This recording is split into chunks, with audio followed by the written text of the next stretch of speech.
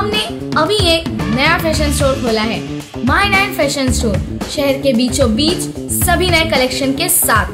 Ladies bags एस्पेनो locus enigma trolley bags polo club USA Ventex Germany footwear own manufacture new arrival latest collection ladies shoes hand handbags sandal men shoes and slipper 100% client satisfaction तो आज ही आइए माई nine fashion store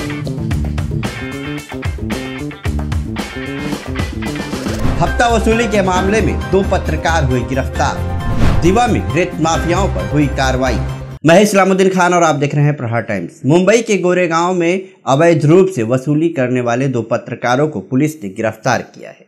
ये दोनों अपने आप को पत्रकार बताकर एक पार्लर चलाने वाली महिला पूनम अशोक जैन को डरा धमकाकर दो महीने से अवैध रूप से वसूली कर रहे थे।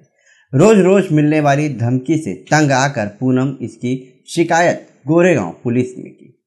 एसपी दीपक फतन गारे ने बताया कि शिकायत के बाद जाल बिछाकर इन दोनों को पकड़ा गया।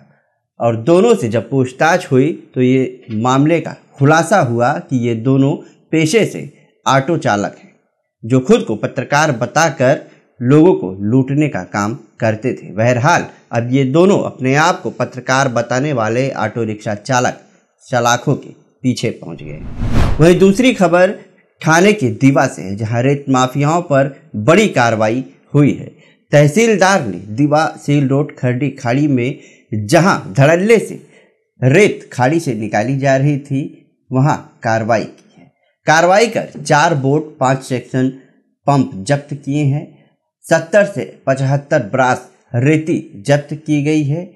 जब्त किए गए सामानों का कुल मिलाकर एक करोड़ बारह लाख रुपए बताए जा रहे हैं।